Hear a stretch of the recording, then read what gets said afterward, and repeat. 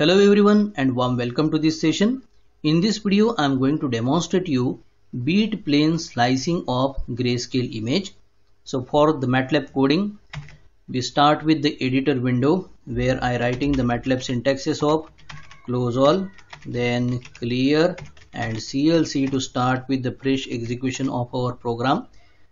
I am mentioning a first line to be commented the motive behind writing this particular program. So this is a program to demonstrate the bit plane slicing of an image.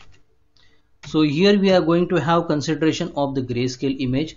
Mostly we have the 8-bit environment and as we have 2 to the power 8 total 256 shades are possible for the 8-bit environment of the image here. So the most popular image datasets as like the cameraman.tif or lena.jpg we are working with. So for that I will be showing you the 8 bits sliced from the image here. So for that purpose I need to first of all read the input image from the current directory or current folder you can say. So this is the first module read the input image where I will be having a generation of the variable a that will hold that input image information and that is possible with the help of imread command followed by a pair of parentheses where inside a pair of single quotes we need to specify the name of the image file along with its file type. So I am have mentioned here cameraman.tif this file we are going to access here and store it into the variable capital A that you can see in the workspace while we run this particular program. Now for the bit plane slicing of this particular image, we are going to make the use of two dimensions of the input image. Let us generate the two variables small m and n that we can assign the dimension values with the MATLAB syntax size when the input argument is the variable holding the image information that it is capital A here. Now as for the 8-bit environment you can count from 0, 1, 2 up to 7. So the 7 will be the most significant bit whereas 0 will be the least significant bit here. So we will go for 0, first, second, third and so on up to the 7th bit sliced from the image that we have just now read here. So let us save this particular script with the name I'm providing. Program underscore let us say this is 13 dot m will be the file extension. So I have saved it to the current folder. So you can see this is the script file here. The name has appeared to the editor tab. Now as you can check the workspace is initially empty. Now we run this particular program and you see there it is generation of variable a.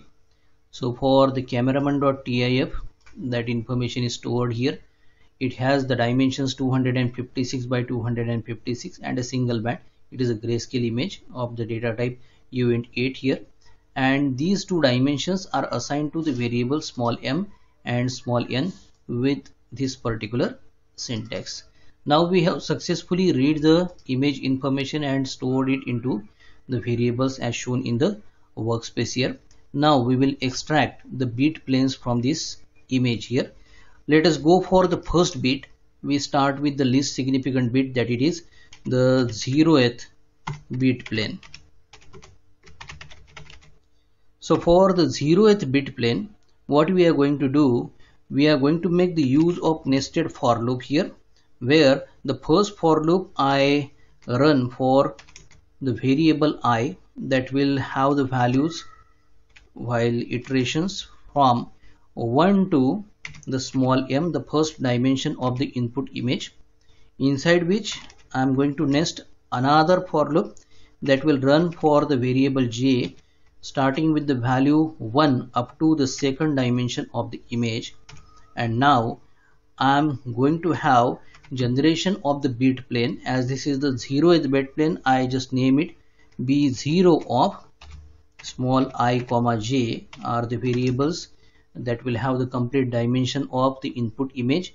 And this I'm going to extract with the bit and operation. So bitand operation we are operating onto the input image that we have stored into the variable a. So i write a of i comma j and this operation will be with the value 1 as we will be having the 0th bit means 2 to the power 0 will result into the value 1 here. I end the syntax with the help of semicolon and will like to end both the for loops here. So this way we are successful to extract the 0th bit plane of the original image here. So I will just copy this code and we will make relevant changes so that we can have extraction of the further bit planes here. So 0th bit plane is the least significant. We will go for the first bit plane where we have i and j variables same running for the complete dimensions for the input image now we will have generation of the first bit plane and will name it 1 here. Now for the first bit 2 to the power 1 it will be equal to 2 only. So this is what the change into the formulation while extracting the bit plane. Next we will go for the second bit plane where I name the resultant bit plane b2 of i comma j and 2 to the power 2 it will be equal to 4 value we have to use while performing the operation of bit and here. So side by side I am saving the changes that I am going to make in this script here. Next to that we will be having the third bit plane here. So I name the resultant variable as b3 of i comma j and 2 to the power 3 the value will be equal to 8 next to that we will go for extracting the fourth bit fourth bit plane here. So I name it b4 of i comma j. 2 to the power 4 we will be obtaining 16 here. Next to that we will be extracting the fifth bit plane. I write the bit plane b5 of i comma j 2 to the power 5 we have the value 32 next to that we will go for the extraction of sixth bit plane. The resultant bit plane I save it with the variable b6 here. 2 to the power 6 will result into the value 64 that is why the bit and operation with the input image should be there with the number 64 here. And lastly we are going to extract the most significant bit plane that it will be seventh bit plane. It will be stored into the variable B7 the bit and operation of the original image will be there with 2 to the power 7 we get 128 here. So this way right from the 0th bit plane up to the 7th bit plane we have extracted the 8 bit planes from the original image that we have read in the MATLAB environment here. Now let us have visualization of it along with the input image. So I will have the last module of this particular program that it is to display the input and output images here. So for this purpose I'm going to make the use of subplot command where I'm going to have generation of two rows and five columns. The first cell I'm going to access where I'm going to make the display with the help of imshow command. First of all the original image is to be displayed. That is why the input argument is capital A. And the concerned title I provide to this particular subplot section that it is within a pair of single quotes we need to mention the string.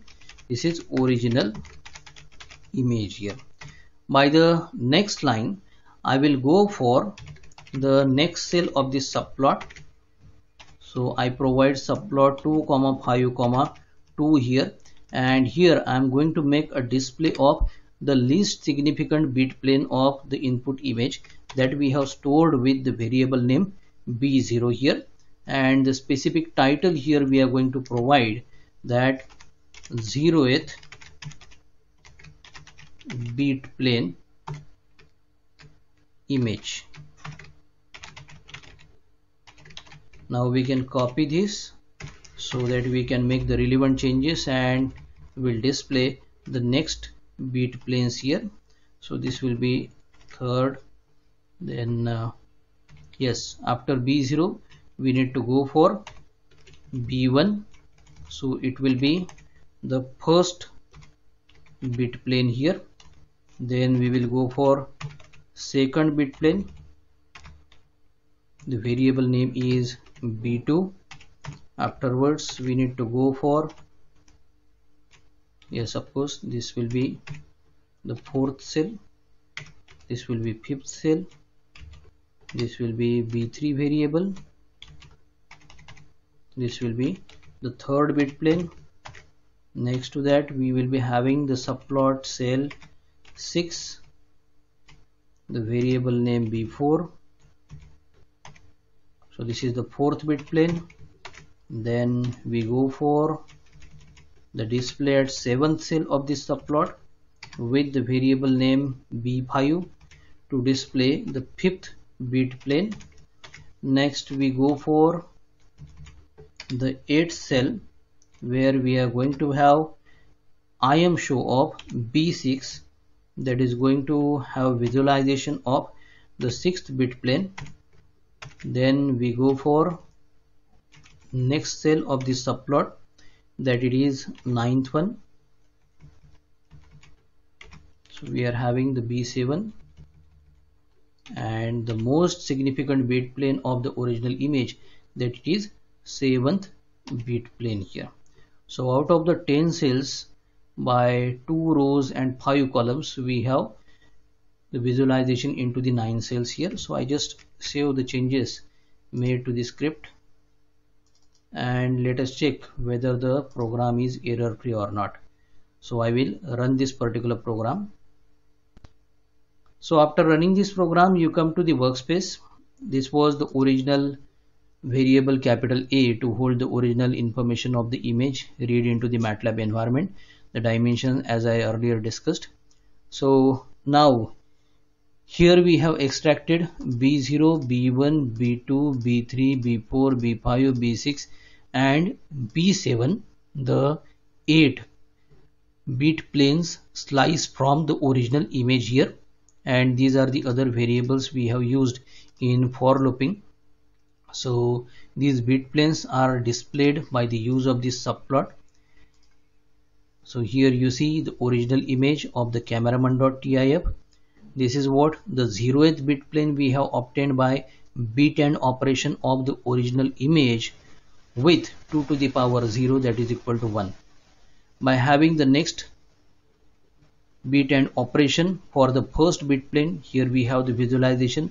Second bit plane third bit plane fourth one, fifth one, sixth one and seventh one.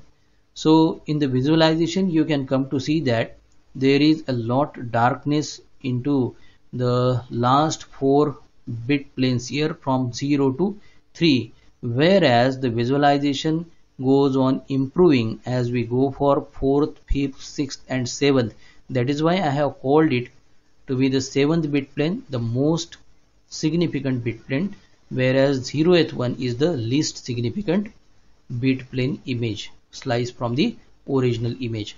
So this visualization you see for the cameraman.tif instead of cameraman.tif if I change the original image here let us say this is lena.jpg I change the name that is why I make the saving of the changes made to the program and run it again. The variables into the workspace will be same because the lena.jpg and cameraman.tif have the same dimensions. The names will be same. Dimensions will be same. So this is what the original image lena.jpg. 0th plane, first plane, second, third, fourth, fifth, sixth and seventh. So here you see the 8 bit plane images sliced from the original image into the MATLAB environment. So this was the simple demonstration of bit plane slicing of grayscale image. Thank you.